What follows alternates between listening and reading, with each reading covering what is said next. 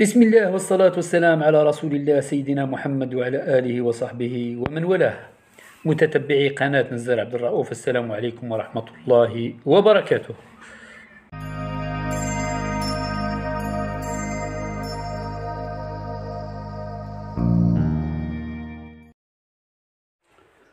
مرحبا بكم من جديد.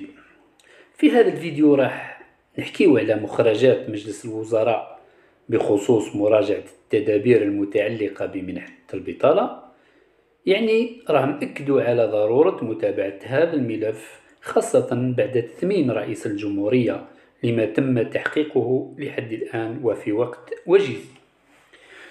وأنه سيتم وضع مخطط إحصائي متجدد كقاعدة بيانات لمراقبة معدل البطالة يعني يشوفوا النتيجة اللي لحقوا لها حتى نهار اليوم في منحة البطالة والتشديد الكبير على حالات التحايل يعني اللي ما توفروش فيه الشروط راح يفيقولوا وينحولوا المنحة وربي يستر يرد الدراهم ولا حتى يتبعوه قضائيا.